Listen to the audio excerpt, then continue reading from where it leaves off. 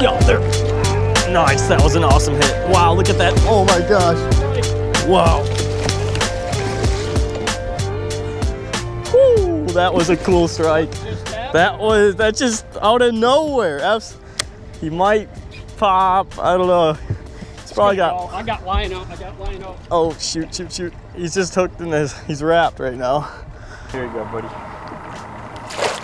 All right, perfect. That's a nice fish right there.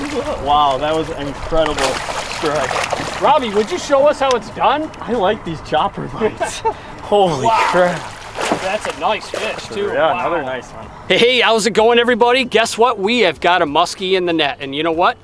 We're gonna show you how to properly unhook and handle a muskellunge right here, right now. Okay, so the first thing we're gonna do is get our net secure here. So here I've got just a Velcro strap. Find somewhere in your boat that you can tightly affix your net handle and then look over the side of the boat and make sure that that fish is in the net perfectly. Yep, and make sure your net's long enough and deep enough into the water so that the fish is submersed completely. Okay, so what we're gonna do here is show you how to handle a muskie. As you can see, they're not easy to deal with. So the first thing I've got here is a really long hook out tool like this. This is the grab it. Um, long pliers will work equally well, but we can see she's got, wow, she's got one hook all the way in. Okay, so this fish, we're not even gonna be able to access the hook without grabbing the fish, to be completely honest. So, and which is scary because you've got this other hook flying around there. What we'll do, you can see how this rear hook is stuck in the net right now. Let me give her a little water too. Just make sure she has a good drink before we grab her. But that front hook is all the way in. So I'm gonna grab my glove. I'm gonna make sure this rear hook is completely contained within the net here. See how that's totally wrapped? And that will help protect me from getting hooked because I don't wanna cut this rear hook off right now because this bait is on fire. Okay, so very carefully, I'm gonna I got my glove on. I'm gonna get her under the gill right there. Okay, good. She's behaving here. So we'll get a look, see how that is absolutely in there. Okay, I need my hook cutter. Okay, so we got our trusty Knipex here.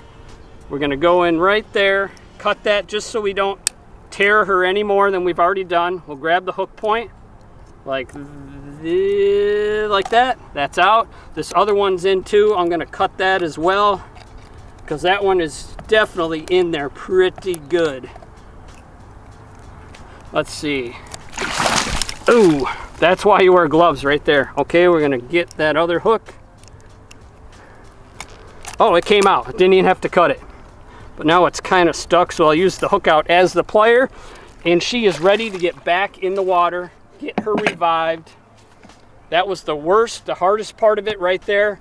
Now it's important to make sure that that fish's head is in the water, completely submersed.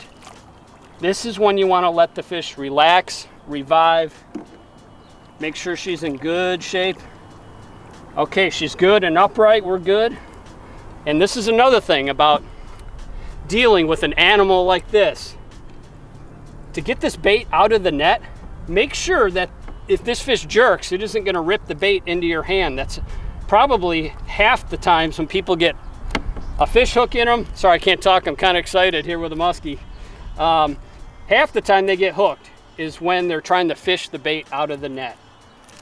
Okay, wow, that thing was firmly implanted there. You know what? I'm not even going to deal with it now. Let's just deal with the fish. Let's get a look at this fish, Robbie. This is your fish. Next on the agenda is to wet your bump board. Just dip it in real quick. Just like that. Put it to, usually have a designated spot where you put your bump board. This is a righty, so that works good. Put my glove on and let's hold this fish. Not a giant by any means, but you know, when they're biting choppers like that, completely out of nowhere, he's revived. He's been in the net for a while. Nice little guy. We'll just bump him real quick here. He's gonna probably squirm just like that. Little 37 incher, but hey, heck of a fight. We'll get him back in the water. And just like that, that is how you safely handle a muskie in the summer. Got him unhooked. Because that was not an easy unhook job by any means.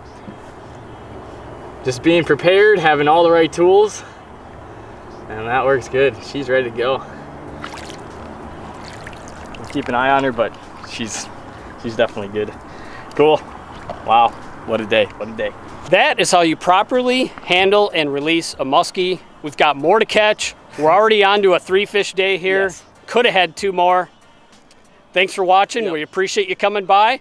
And remember, safely handle Yes, your We muskies. need muskies. and one more shout out to Capital City Muskies Inc. Thank you so much for providing such an amazing fishery for us out Yeah, here. Yep. 30 minutes away from our house. Man, Wow. doesn't get any better. Thanks for watching.